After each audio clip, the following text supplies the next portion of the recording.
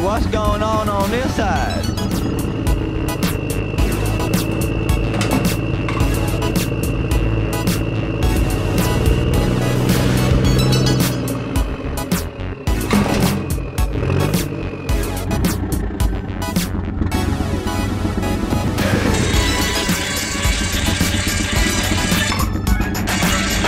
Now let's see if I can remember how to make my mark.